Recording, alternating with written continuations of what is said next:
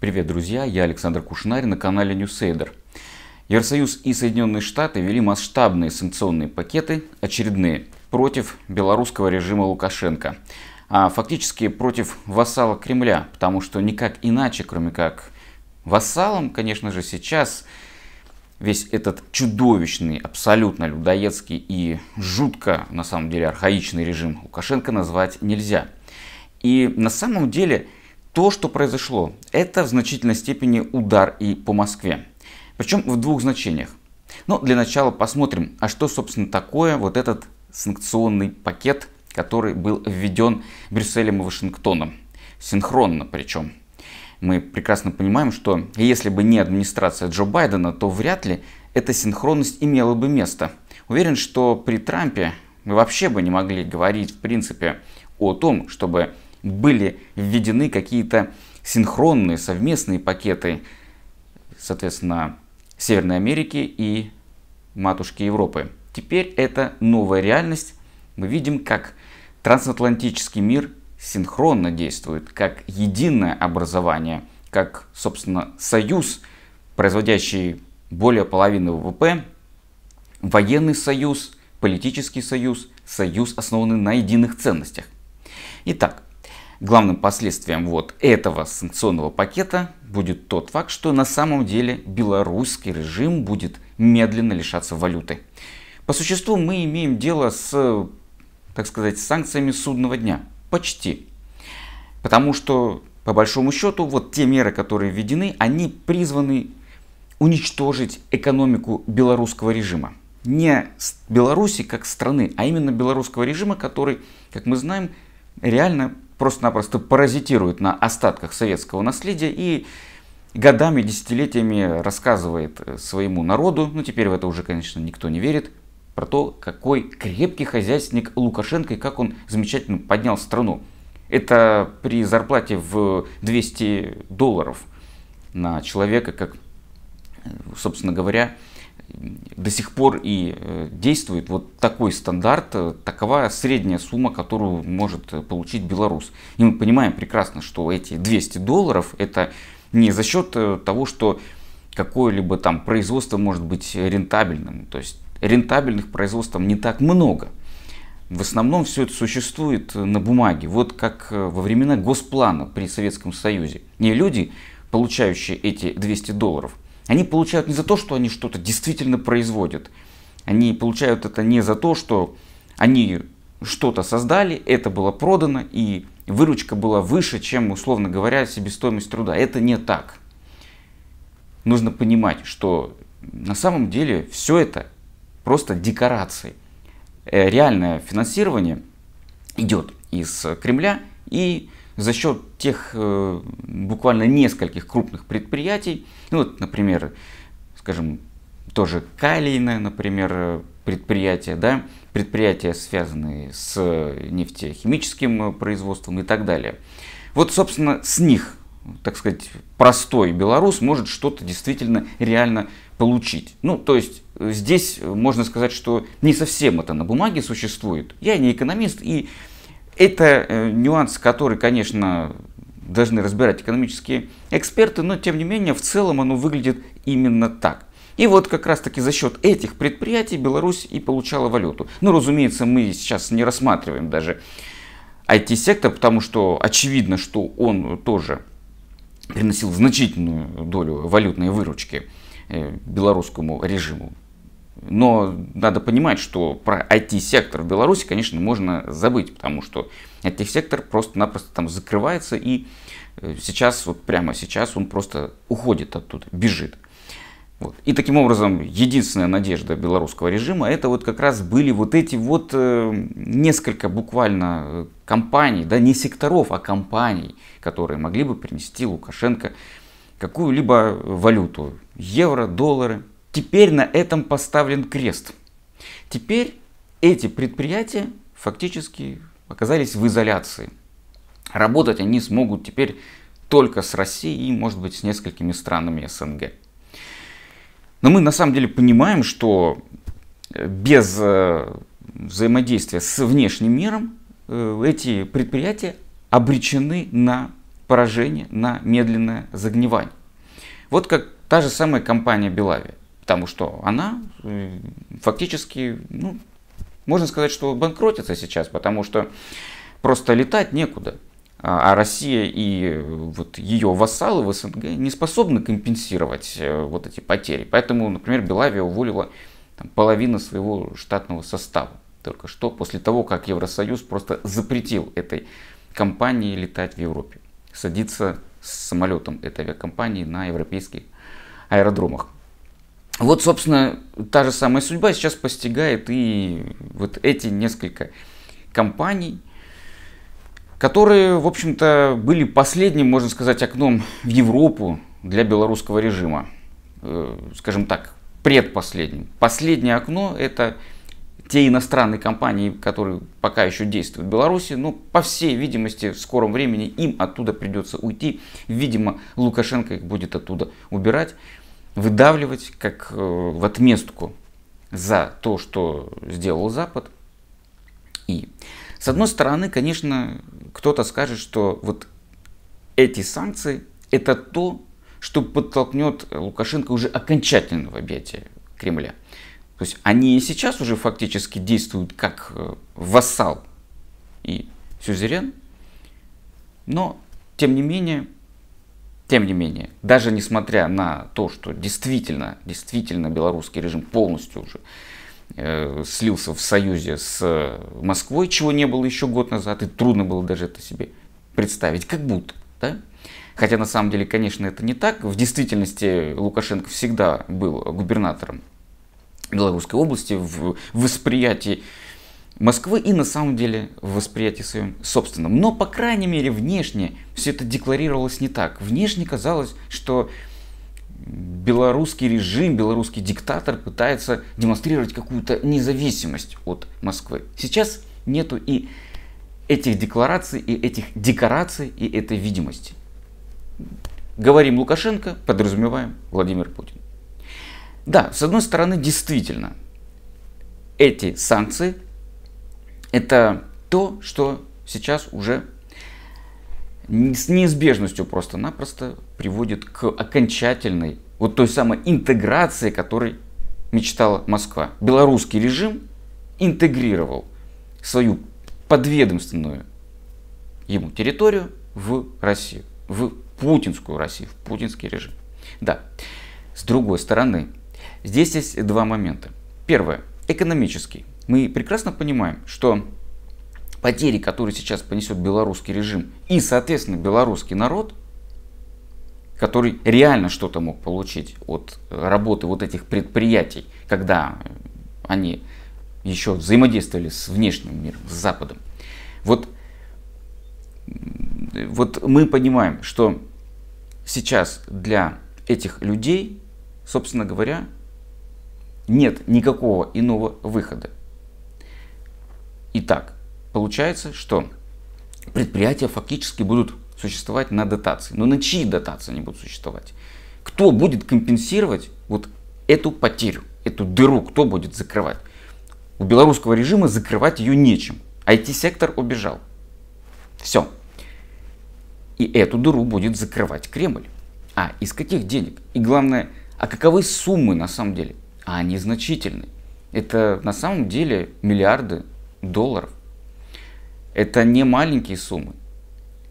Кто-то этих людей вот на этих предприятиях должен кормить.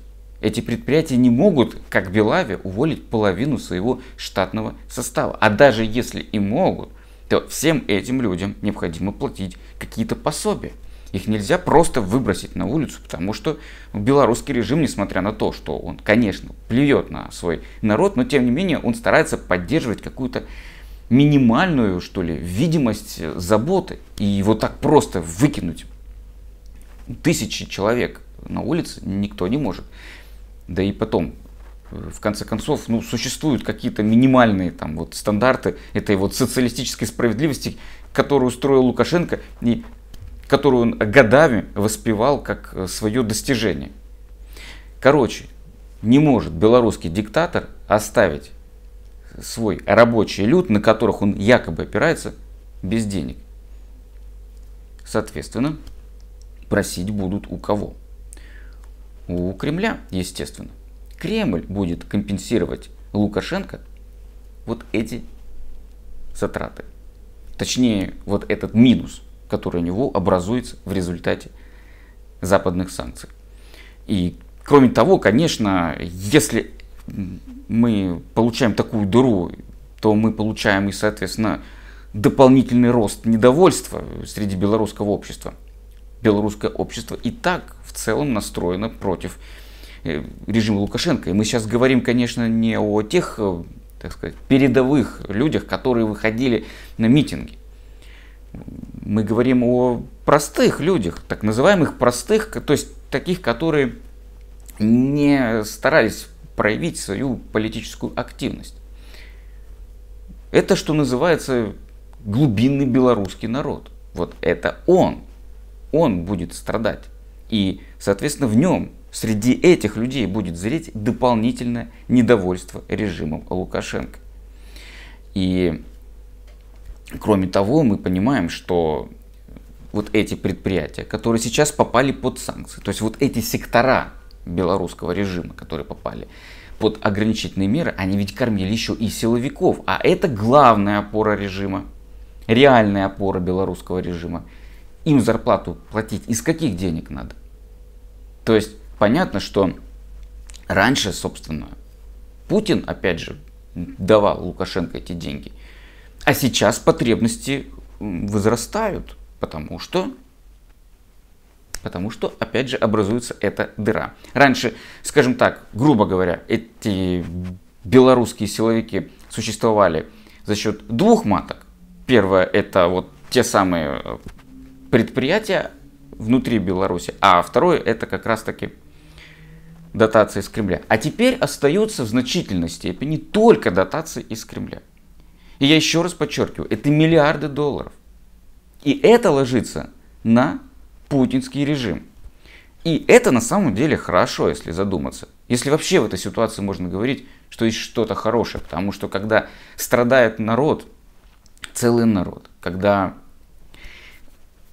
политическими заключенными в Беларуси не просто издеваются, а их медленно убивают, когда сидит Роман Протасевич, э, которого просто публично психологически истязают, заставляя играть чудовищную роль человека, который благодарен террористу в рамках стокгольмского синдрома, вот если здесь и есть что-то вообще, ну не то, что хорошее, а хотя бы просто немножечко оптимистичное, это то, что сейчас путинскому режиму придется компенсировать, собственно, вот эти дыры белорусского режима.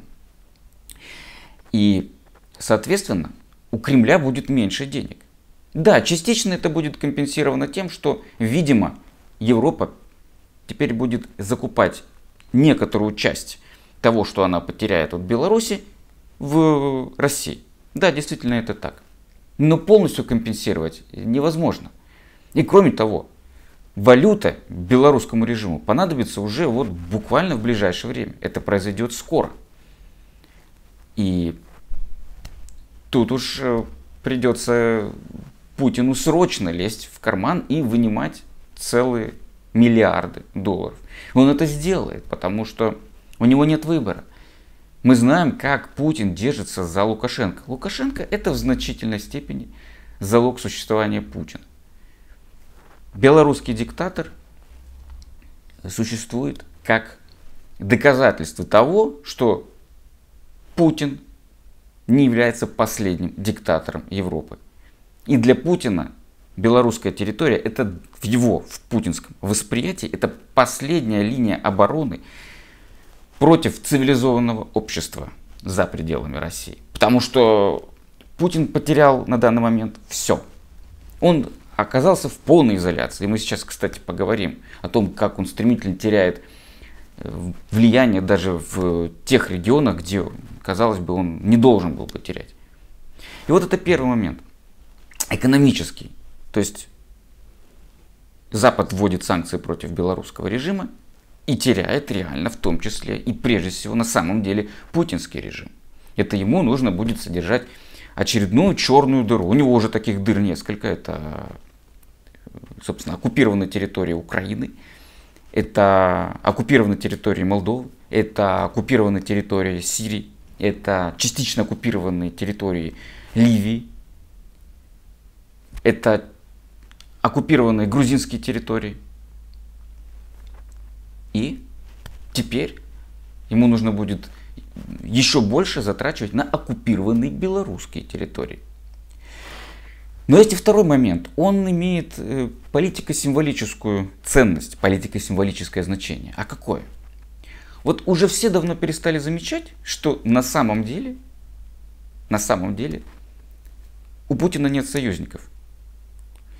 Что он находится в абсолютном одиночестве.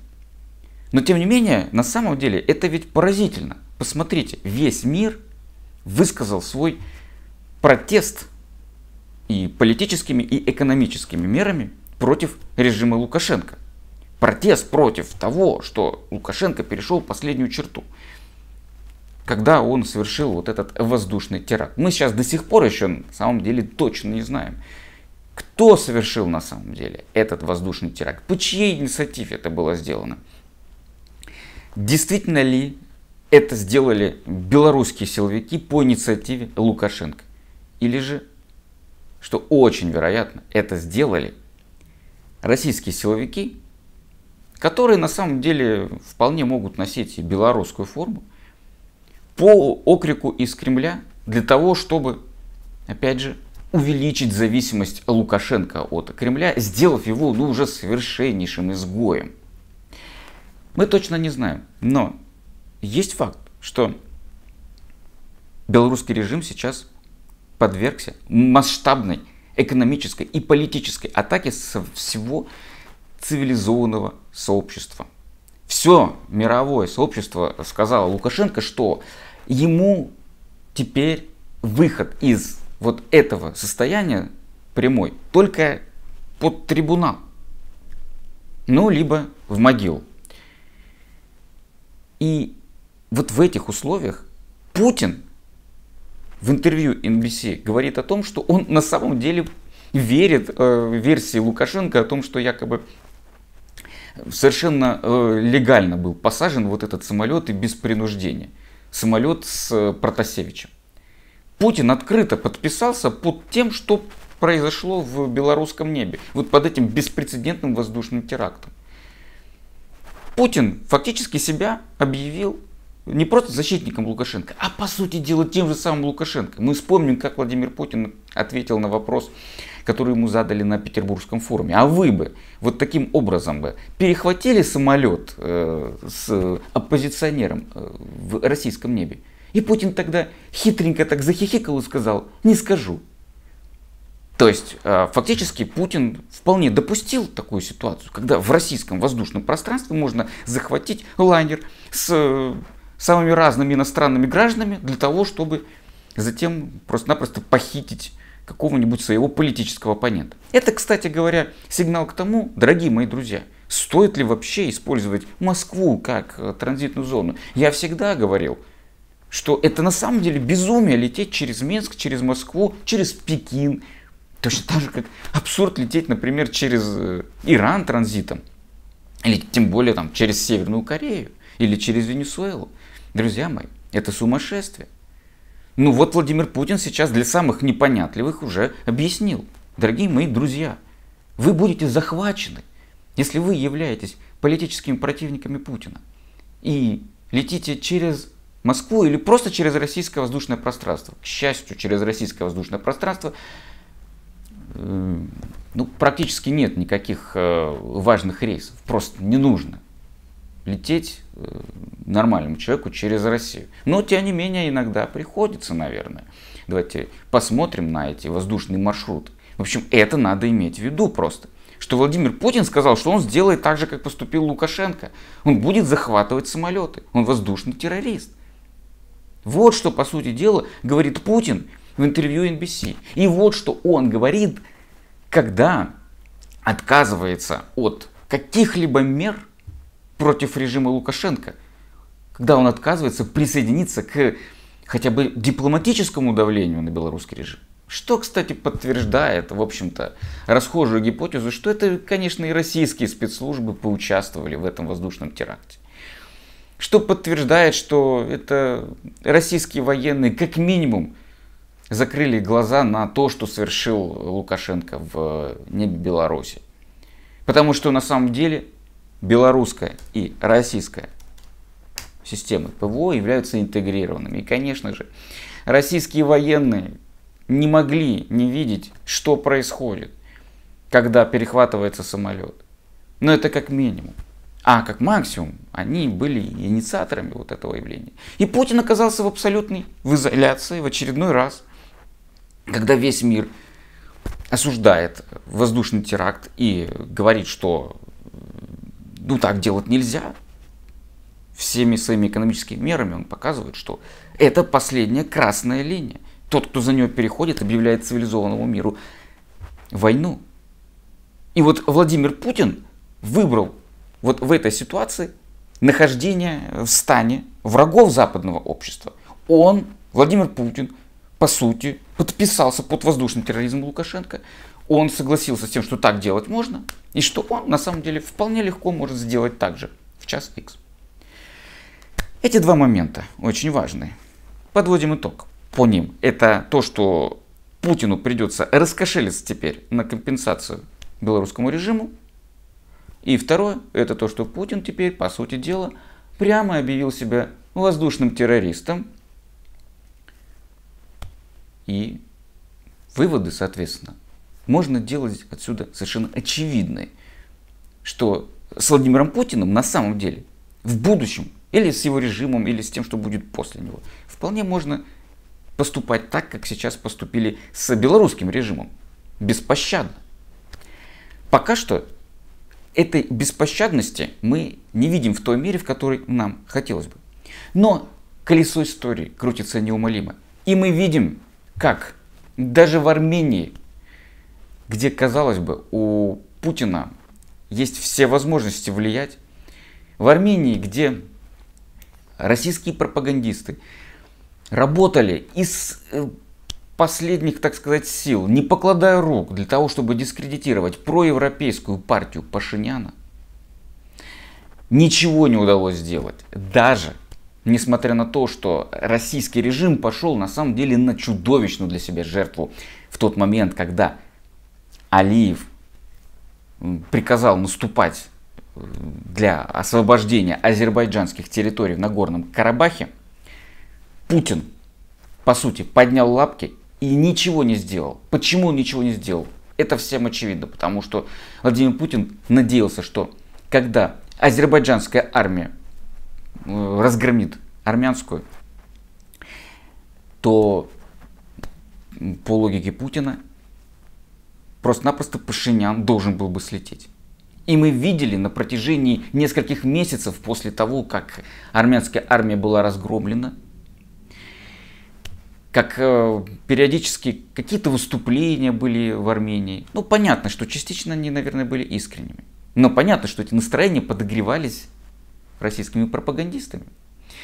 И, собственно, основной лейтмотив вот этих всех сюжетов, вот этих всех выступлений, заявлений со стороны армянской, ну, сейчас оппозиции, ну, то есть э, кремлевских ставленников, все, собственно, вот все эти сюжеты сводились к тому, что Пашинян виноват в том, что проиграл войну и, соответственно, должен уйти. И даже были попытки сместить Пашиняна и, в общем-то, мы прекрасно понимаем, что задача Кремля была полная дискредитация не то что Пашиняна, а вообще в целом проевропейского движения. То есть Путин же всегда как хочет сказать. Ну вот смотрите, в Украине произошел Евромайдан. Видите, война началась. Видите, в Армении случился в свое время цветная революция, так скажем. Ну вот посмотрите, опять же, война, и получилось ли у Путина сместить Пашиняна, мы только что увидели, что партия Пашиняна разгромно победила ставленников Путина. То есть настолько армянскому обществу осточертели эти кремлевские ставленники, это вся эта архаичная, клановая масса, которая годами и десятилетиями не давала Армении двинуться в сторону нормального, цивилизованного европейского общества, что армянское общество просто-напросто и не подумало критиковать Пашиняна только на том основании, что он проиграл войну. Потому что армянское общество прекрасно понимает, оно это продемонстрировало на этом голосовании, досрочном парламентском голосовании. В смысле, на досрочных парламентских выборах. Что оно прекрасно понимает, что виноват в том, что война на Горном Карабахе была проиграна, не Пашинян, а старый клан. И армянское общество на самом деле сказало, что оно не будет придерживаться вот, э, скажем, вот этих вот, э, я бы так сказал, традиционных, э, достаточно архаичных на самом деле склонностей к тому, чтобы до последнего стоять за клочок земли, как бы это кому обидно не было, но тем не менее. По большому счету это ведь архаично. И это не является на самом деле ценностью э, современного цивилизованного человека. В том смысле, что э, оно не является самоценностью. Самоценностью является европейский путь. И армянское общество сказало, ладно, мы эту войну проиграли, но ведь у нас есть шанс. Шанс стать цивилизованными гражданами, европейскими гражданами. Не говоря уже о том, что на самом деле, в соответствии с политической картой, безусловно, Нагорный Карабах является азербайджанской территорией. И армянское общество по факту объективно сказало, что оно придерживается вот этой международно признанной карты. Оно понимает, что претензии Армении вот на эту часть Нагорного Карабаха, которая принадлежит Азербайджану, эти претензии не являются юридически обоснованными. А ссылка на какие-то старые исторические документы э, ну, совершенно здесь неуместна. Потому что это архаика. А альтернатива – это движение в сторону европейского цивилизованного сообщества. Армянское общество выбрало именно его. И оно отказало Владимиру Путину, его режиму, режиму его ставленников в доверии. Причем абсолютно. Не помогли ни вот эти российские пропагандисты, ни проигранная война, которая в значительной степени, собственно, была проиграна именно потому, что режим Путина отказался вмешиваться. Он дал зеленый свет а, правительству Алиева, а не дать было тоже достаточно сложно, потому что администрация Алиева была э, настроена очень серьезно. Она получила очень серьезную поддержку со стороны правительства Эрдогана. Оно было очень хорошо подготовлено в военном смысле, потому что ведь на самом деле это была война, война в Нагорном Карабахе осенью прошлого года. Современной, модернизированной армии НАТО против старой, э, воюющей по советским лекалам, советской, российской армии. И таким образом Путин сделал ставку на эту войну как на способ победить Пашиняна, уничтожить его, выбросить из Армении и заставить Армению, армянское общество оставаться вассалом Путина. Так вот, эти планы полностью провалились. Россия проиграла и свою репутацию как надежного союзника в этом регионе, как влиятельную силу в этом регионе. И, с другой стороны, Россия проиграла, собственно говоря, в самой Армении. И еще один кусок территории, скажем так, культурной, политической, географической, бежит от Владимира Путина друзей Владимира Путина стало еще меньше. И это очень важный итог того, что произошло. Владимир Путин на самом деле не понимает до сих пор этого. Он не хочет в это верить. Он продолжает жить в своей реальности, в которой он не изолирован. А если он даже и подвергается давлению, то это потому, что на самом деле некоторые враждебные силы в Соединенных Штатах и в Европе так небольшое количество этих сил, они просто пытаются якобы навязать свою особую трактовку э, мирового пути остальному человечеству. А так-то на самом деле Владимир Путин не находится в изоляции. Это просто какая-то ошибка вышла. Ошибка, которую можно исправить. И то, что именно так думает Владимир Путин, показывает его статья в немецком издании, которую он написал. В этой статье, в общем-то, он, э, опять же, перечисляет свои старые добрые болячки. Где он рассказывает о том, что якобы это не режим Путина виноват в том, что, э, собственно говоря, э, Россию стали считать изгоем. А это какие-то силы в Соединенных Штатах и Европе хотят превратить Россию во врага. И поэтому обкладывают Россию по периметру. Владимир Путин опять снова пишет про этот кровавый переворот в Украине, где был свергнут э, легитимный в кавычках Янукович. Владимир Путин опять пишет про то, что якобы когда-то НАТО дало обещание Горбачеву не расширяться, что является полной чушью. НАТО не давало такого обещания. И что якобы именно вот это расширение приводит к тому, что Россия вынуждена защищаться. Владимир Путин говорит немцам и вообще всем, что а давайте жить дружно. Россия это часть Европы. И что э, это не Россия виновата в том, что она не в Европе. Не режим Путина, который захватывает чужие территории, десятками тысяч убивает мирных граждан за пределами российской территории. А виноваты в этом европейцы, которые почему-то не хотят принимать Россию в список цивилизованных стран. Почему-то не хотят видеть ее частью современного европейского нормального сообщества. И Владимир Путин там говорит э, в том числе и о том, что, ну, собственно, в связи с чем эта статья и была написана, якобы, вот вспомните, как нацисты вероломно атаковали Советский Союз.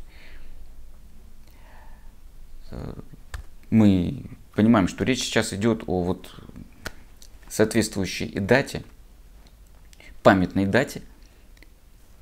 В, в этот день германские войска Третьего рейха напали на Советский Союз. И именно по этому поводу была опубликована эта статья. Она, кстати говоря, очень э, повторяет и очень похожа на то, что Владимир Путин писал в связи с 9 мая в прошлом году, где он подробно объясняет, что Россия на самом деле это не захватчик, а Литва и Латвия вошли в состав Советского Союза добровольно, ну и так далее. Это очень похоже. Это, собственно говоря, тот мир, в котором живет Путин, он бесконечно повторяет эти свои э, параноидальные абсолютно, вымышленные инсталляции. Э, это жутко. Это просто жутко. Потому что Владимир Путин это владелец красной кнопки. Он вот так видит мир. И он говорит немцам на то, о том, что они напали, нацисты напали э, в 1941 году. И Владимир Путин как бы не замечает того, что только что сказала Меркель. Когда она именно по поводу этой даты сказала, что это было ужасное, вероломное событие. И собственно, вот эта Вторая мировая война, которую развязала э, нацистская Германия, и в частности то, что сделала нацистская Германия с э, людьми на советской территории. Но она же в своей речи вспомнила и про аннексию Крыма. Тем самым она приравняла режим Путина к нацистской Германии. Меркель показала, что нет никакой исторической вины перед режимом Путина. Что режим Путина Точно так же, как и Третий рейх, аннексирует территории, пренебрегает, пренебрегает правами человека, унижает достоинство э, людей, презирает человеческие жизни, мечтает о разделе мира, а то и о захвате мира. Режиму Путина и Путину лично, конечно, это очень не понравилось. Это очень нехороший сигнал, потому что даже Берлин, который выбрал принципиально мирный путь развития, который страдает комплексом вины перед э, Россией, даже Берлин, даже Берлин, даже немецкие власти демонстрируют, что они прекрасно понимают, кто такой режим Путина. Они прекрасно понимают, что аннексия Крыма это ровно то же самое, что в свое время сделала Германия в отношении нескольких иностранных территорий, которые она объявила зоной интересов немецкого общества. И Владимир Путин таким образом терпит полный крах даже на идеологическом фронте, который он пытается все время сдвинуть в сторону Европы, навязать всем свою повестку. У него это не получается. Он оказывается в полной идеологической и политической изоляции. И это его статья, в которой он говорит, да что, покупайте газ у нас. Покупайте газ, говорит он. Это не, не ваша война, дорогие друзья. Мы же с вами все братья. Вот эта статья, естественно, не будет воспринята всерьез. Владимира Путина перестали воспринимать всерьез, особенно после саммита с Байденом, где он продемонстрировал себя в качестве абсолютного сумасшедшего изгоя. И все последующие события, которые мы сейчас будем видеть, это будет подтверждать это его изгойство. Он будет становиться все более одиноким. И более того, мы можем ожидать наращивание очень серьезного давления и усиление конфронтации Запада с российским режимом, который теряет последние свои идеологические, политические и географические опоры. И вот, между прочим, пресс-секретарь Белого дома Джен Псаки об этом четко сказала только что. Мы не будем предупреждать Россию об ответных мерах на возможные кибератаки. Ясное дело, по поводу чего она сказала это. Она сказала это в ответ на заявление Марии Захаровой о том, что якобы российский режим даст асимметричный ответ в случае введения новых санкций со стороны США. А я уже говорил в своей передаче. Ответные меры – это, разумеется, кибератаки. Еще раз напомню, что Байден прочертил перед Путиным красную линию на встрече в Женеве, где он показал, что по сути, если Владимир Путин, его государственные и негосударственные хакеры нападут на американскую критическую инфраструктуру, то это будет актом объявления войны. И когда Псаки говорит, что предупреждать Америка не будет Россия, мы понимаем, что это значит. Мы вполне можем ожидать, что речь на этот раз пойдет уже не только об атаке на, как это уже случилось буквально месяц назад, атаки на военные структуры России. На этот раз атака может быть уже на какие-то экономические активы Владимира Путина и его олигархов. Итак, мы в очередной раз увидели сдвиг в сторону изоляции Владимира Путина. Режим Путина становится все более одиноким, изолированным, ущербным и архаичным – и безусловно, сейчас мы находимся на последнем этапе загнивания не просто путинского режима, а Российской империи, российской имперскости как таковой. Я думаю, что после Владимира Путина, а его конец, конец его режима, и биологический, и политический, он очень близок. После режима Путина у России появится шанс исцелиться, но это будет уже не та Россия, которую мы знаем сегодня российская государственность разрушается. Она уже разрушена, она уже уничтожена фактически. И то, что мы называем русской цивилизацией, погибает. И после Путина эта гибель ускорится. На месте России образуется нечто иное. Что? Еще посмотрим. Но вот прямо сейчас своими действиями Путин ускоряет ход истории к концу российской истории, к финалу. Спасибо, что остаетесь с Newsader. Подписывайтесь на наш канал и следите за новостями вместе с нами. При желании можете поддержать нас на платформе Patreon и других ресурсах. Ссылки найдете в описании к этому видео. До новых встреч, друзья!